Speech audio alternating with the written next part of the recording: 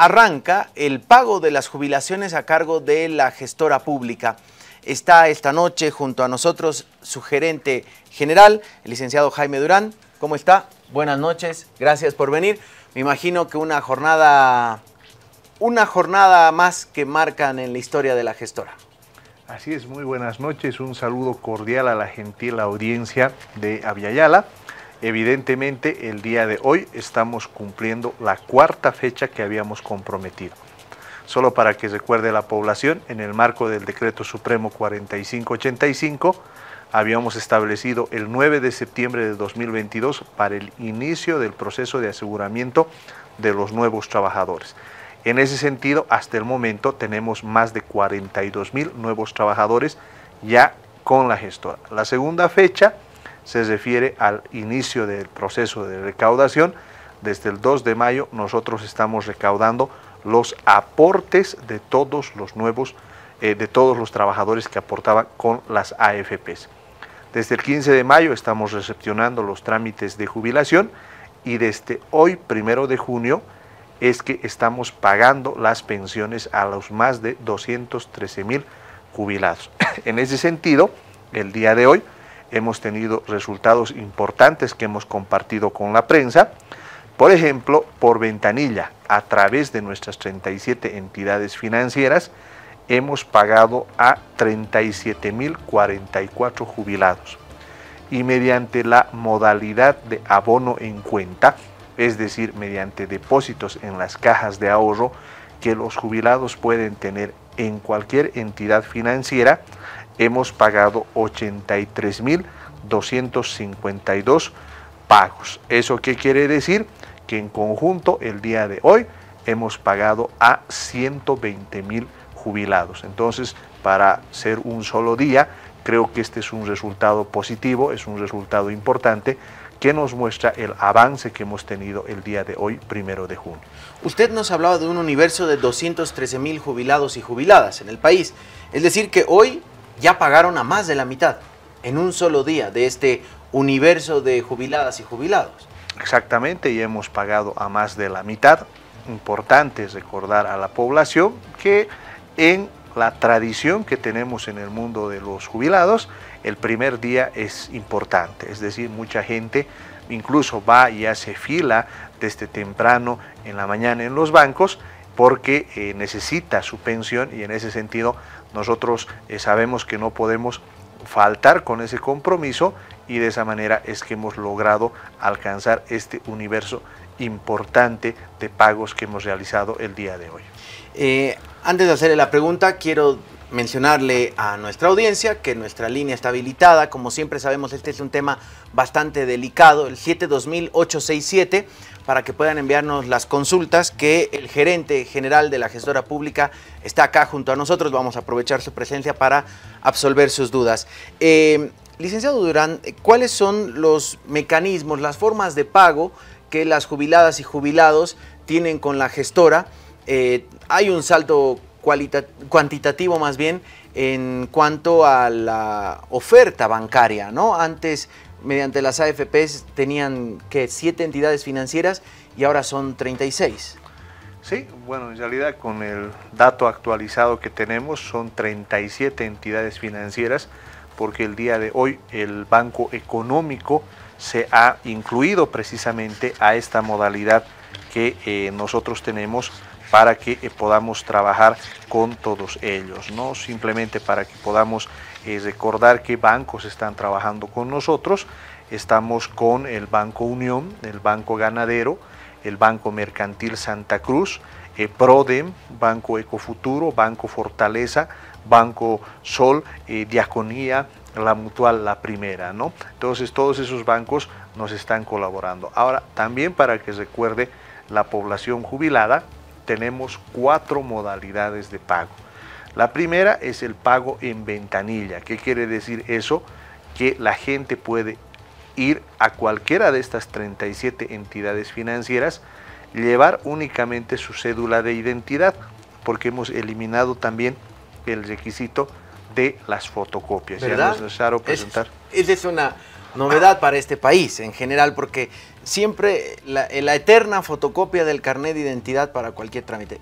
A partir de hoy, las y los jubilados, simplemente el carnet original. Exactamente.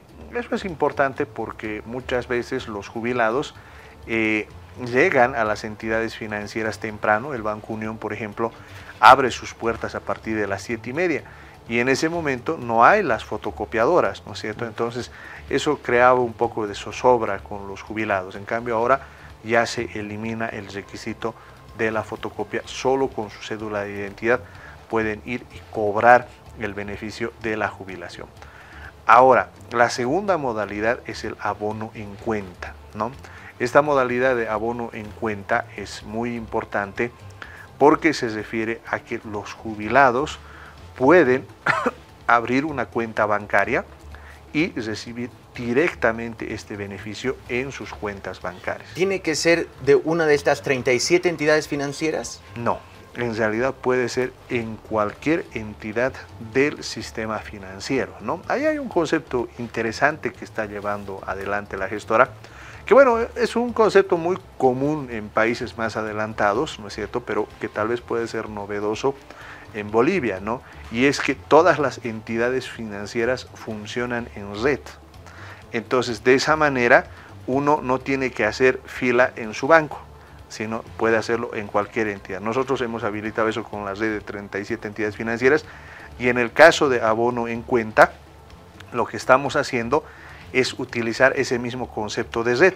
Entonces, por ejemplo, yo puedo tener mi cuenta en el Banco Visa, puedo tener en el Banco de Crédito, puedo tener el Banco Nacional de Bolivia, que no están precisamente en nuestra red de pagos en ventanilla, pero tengo mi, mi, mi cuenta bancaria y mediante una modalidad que se llama ACH, ¿no? ese es el nombre técnico, yo puedo hacer depósitos en esa cuenta. Entonces, eso hemos aplicado y por esa razón es que tenemos este avance tan importante, porque fíjate, eh, pagar, digamos, eh, a 120 mil personas hace unos 10, 15 años e, era un sueño, ¿no? Hacerlo en un solo día. Si ustedes recuerdan, había unas filas enormes en el estadio, etcétera, ¿no? Y antes era pues eh, todo en ventanilla, ¿no? En cambio, ahora estamos aplicando, estamos usando la electrónica precisamente para que podamos pagar de esa manera. Entonces, esa es la segunda modalidad. Ahí no hay que hacer ningún trámite. Quizás, digamos, el tema de la boleta, ¿no? El tema de la boleta que a veces les piden en algunos eh, trámites, especialmente en la Caja Nacional de Salud. Eso se puede acceder mediante en nuestra oficina virtual www.gestora.bo y también se puede acceder eh, mediante eh, nuestras plataformas. ¿no? La tercera modalidad es el pago mediante apoderado. ¿En qué consiste? Que un jubilado puede dar un poder notariado a uno de sus familiares para que él cobre. Entonces eso también es posible realizarlo. Y la cuarta modalidad es el pago mediante eh, domicilio. ¿Eso qué quiere decir? Que por ejemplo puede haber personas que no pueden movilizarse porque eh, tienen alguna enfermedad. Entonces lo que nosotros hacemos es desplegar a nuestro personal para que vayan y lleven la pensión a donde se encuentra esta persona.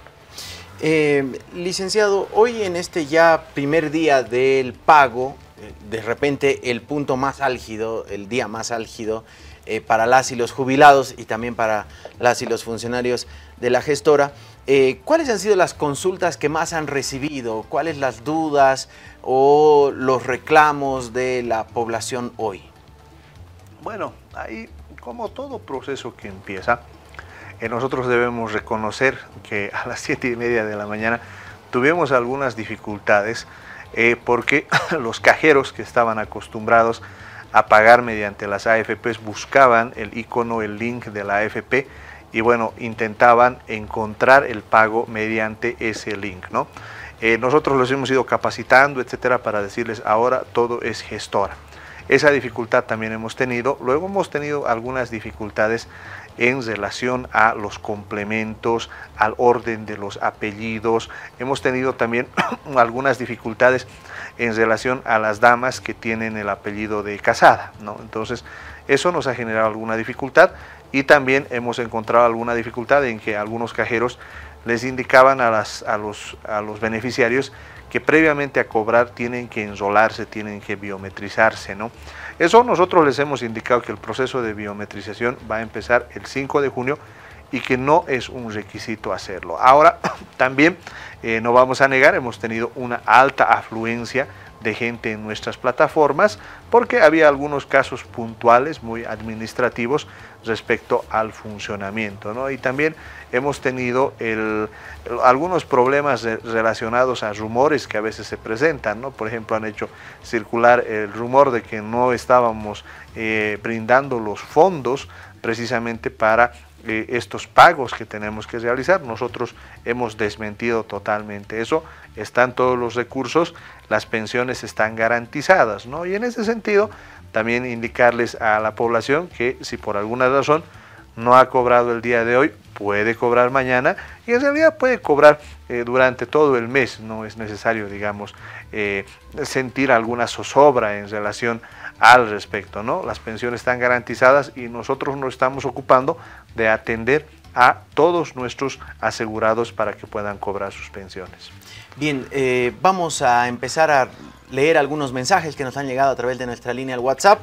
Eh, agradeciendo de antemano, por supuesto, sus consultas. Buenas noches, a mi mamá le abonaban en cuenta. Hoy no lo hicieron. Mi mamá fue a la gestora a reclamar y le dijeron que recién abonarán. ¿Cuándo estará su pago? Gracias.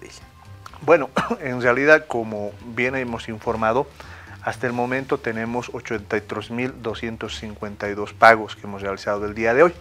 Entonces, si no le ha llegado, es el cálculo más o menos que tenemos es que vamos a realizar 100 mil pagos en abono en cuenta aproximadamente. ¿no? Entonces, esos 17 mil pagos ya han entrado en un segundo lote, es un ciclo que realiza el sistema financiero, así que hasta mañana estas personas ya van a tener eh, su abono en cuenta. Bien, gracias. Seguimos leyendo los mensajes rapidito para, tenerlo, responder la mayor cantidad. Buenas noches, creo que la gestora pública está respondiendo bien. Me han pagado bien y a tiempo en el Banco Mercantil. Agradezco el trabajo de los señores de la gestora. Ana Lucia Molina eh, desde Miraflores de La Paz. Un saludo, Diego. Eh, acompañé a mi mamá a Prodem y le pagaron sin problema su jubilación. Antes íbamos siempre a la Unión, pero mi mamá dijo que se podía cobrar en cualquier banco, gracias al director de la gestora desde la zona norte de La Paz? Bueno, es precisamente lo que habíamos indicado. Es este trabajo que estamos haciendo en red nos permite que, por ejemplo, el Banco Mercantil, que es uno de los bancos más grandes, tiene una gran cantidad de agencias, por ejemplo, aquí en La Paz, en el Prado, tenemos una agencia que está al lado prácticamente del Banco Unión y que tiene una menor afluencia, ¿no? Entonces a veces, digamos, lo que ha ocurrido el día de hoy es que había gente que pensaba que solo pagábamos en el Banco Unión, nosotros hemos dicho no, hay una red bancaria, eh, Prodem también tiene una fuerte presencia en todo el país, entonces este concepto nos ha ayudado. Yo no quiero minimizar, ha habido también algunos problemas, los estamos solucionando, pero bueno, para un día efectuar 120 mil pagos, bueno, creo que... Claro, más de la mitad, lo decíamos. Ah, ahora, hoy mencionó que se sumó un nuevo, una nueva entidad financiera, es probable que se vayan sumando otras en el país y también hay cooperativas que son regionales, diríamos, ¿no? Locales, eh, en Cochabamba, en el departamento del Beni, en, en el departamento de Tarija, que claro, de repente están en municipios más pequeños donde algunos de estos bancos no tienen presencia, ¿no? Con oficinas. Sí, precisamente para que veamos algunos datos de estos 36 mil, 37 mil pagos que hemos realizado eh, por entidades financieras en Ventanilla, 30 mil han sido hechos por bancos, ¿no? Eh, luego hemos hecho 1.640 eh, por cooperativas, por ejemplo la cooperativa San Martín de Porres ha hecho 1.438 pagos y también en otro tipo de entidades financieras hemos hecho 5.198 pagos, Crecer ha hecho 3.054 pagos, la primera, la entidad financiera de vivienda, 1.444 pagos. Entonces ahí vamos viendo también la importancia de la gente que ya poco a poco se está acostumbrando a que no sea en un solo lugar que le paguen, ¿no es cierto? Ahora, evidentemente, ahí hay que resaltar el trabajo que ha hecho el Banco Unión, ¿no? Porque, por ejemplo, del total de estos 37.044 pagos, el Banco Unión ha hecho 20.668 pagos. ¿no? Entonces ahí la presencia del Banco Estatal también es muy fuerte y eso nos muestra que esta arquitectura, esta unión entre bancos privados y nuestros bancos públicos funciona y hemos logrado una sinergia que en los días siguientes va a alcanzar pues un mayor movimiento. Bien, eh, seguimos revisando los mensajes, ya nos quedan cinco minutitos con el gerente de la gestora. Buenas noches, mi papá es aportante independiente. ¿De dónde puedo obtener el formulario para poder cancelar? Somos de la ciudad de Oruro y tenemos esa duda, por favor. Gracias.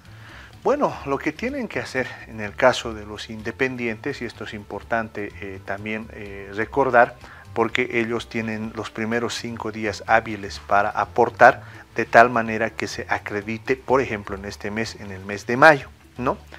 Eh, para ello lo que tienen que hacer es entrar a la página web www.gestora.bo, ir al icono de la derecha superior y ahí eh, hacer clic en lo que dice oficina virtual. Y luego tiene que seguir todos los pasos que se tiene ahí para que pueda generar el formulario de pago de contribución. Importante también informar a la población que estos formularios se pueden pagar también en ventanilla, así como se pueden pagar electrónicamente, es decir, mediante una transferencia o lo que ahora está de moda, el código QR. ¿no? Ah, entonces se genera el código QR, entonces desde cualquier entidad financiera yo saco una foto, eh, aprieto dos, tres botoncitos e inmediatamente ya va a estar ese pago y también ya va a estar acreditado en la cuenta personal previsional. Buenísimo. Mm, vamos con más mensajes. Buenas noches, mi mamá recibió su jubilación por depósito y no así la jubilación de derecho habiente. ¿Qué podemos hacer? Bueno, en estos casos específicos que digamos hayan recibido, porque hay personas que reciben dos jubilaciones, hay personas que están trabajando y también están jubiladas, etcétera. Si ha existido alguna dificultad, tiene dos posibilidades. La primera, asistir a cualquiera de nuestras plataformas. Tenemos 36 plataformas en el país. En el caso de La Paz, yo recomiendo que asistan a nuestra plataforma ubicada en la zona de Miraflores, en la avenida Argentina entre Villalobos y Díaz Romero. Esa plataforma tiene una menor afluencia que de las Torres Gunlas que está cerca del Prado. Y la otra posibilidad es que llame el día de mañana a la línea gratuita 810 1610 en donde le vamos a orientar para que pueda observar y decirle, bueno, cómo podemos activar su segundo pago y de esa manera pues reciba lo que le corresponde. Bien, 810-1610 ponemos a pie de pantalla, por favor, de línea gratuita. Dos mensajes más y ahí cerramos. Eh, ¿Se puede recoger el dinero si no me alcanzan los aportes? Dice. Bueno, ¿qué dice la ley? Es bien hay una casuística especializada, la ley establece que uno accede a la jubilación cuando cumple 58 años de edad y tiene 10 años de aporte. Si uno cumple 58 años de edad y no tiene 10 años de aporte, por decir tiene 5 años, entonces tiene derecho a recoger esos recursos. Sin embargo, yo recomiendo que se ahorre para la jubilación, porque la jubilación es un beneficio que se tiene cuando uno cumple 58, 60 años y cuando, bueno, pues las fuerzas eh, ya no es tan fácil trabajar como antes y en ese momento se necesita de esos recursos. Por eso yo animo a todos los independientes, a todos los trabajadores que coticen porque la jubilación es muy necesaria. Bien, eh, un mensaje más, eh, por favor. Mi nombre es Reinaldo Serrano, bueno, ahí está el número de carnet. Me pagaban en mi cuenta del Banco Unión y aún no hicieron el depósito correspondiente. En la anterior administradora me pagaban cada fin de mes. Este de repente sea un caso de estos 17 eh, mil que todavía quedaron rezagados hoy, digamos. Exactamente. En realidad vamos a tomar nota precisamente del caso y vamos a ver específicamente qué es lo que ha ocurrido y sobre esa base vamos a hacer la atención correspondiente para que el día de mañana ya esté eso abonado en la cuenta y no tenga ninguna dificultad.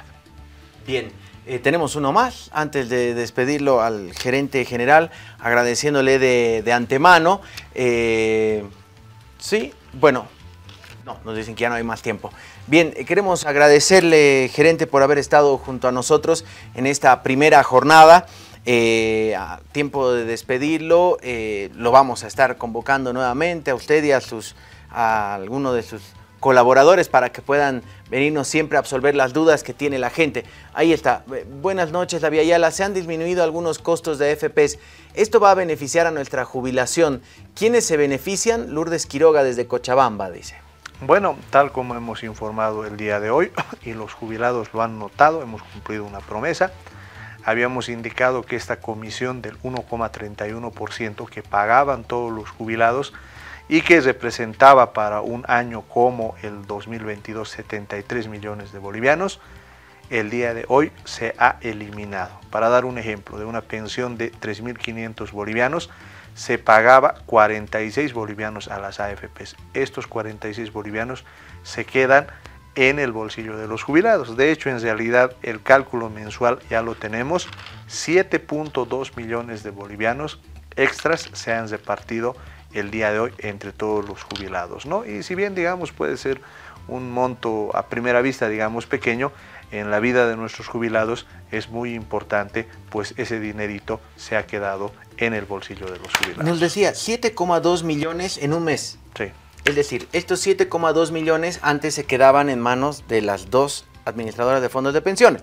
Ahora se quedan en los bolsillos de las y los jubilados, lo que implica que hay como más de un millón de dólares mensuales que, se van, a, que van a circular en la economía nacional. Exactamente, es decir, ese dinerito que antes se iba a las AFPs, ¿no es cierto?, a empresas privadas transnacionales, con el modelo que tiene la gestora que ha sido establecido en la ley 065, ahora se queda en manos de los jubilados, ¿no es cierto? Y en ese sentido formamos, estamos cumpliendo lo que manda el modelo económico, social, comunitario, productivo, que precisamente nos invita a pensar en los que más necesitan.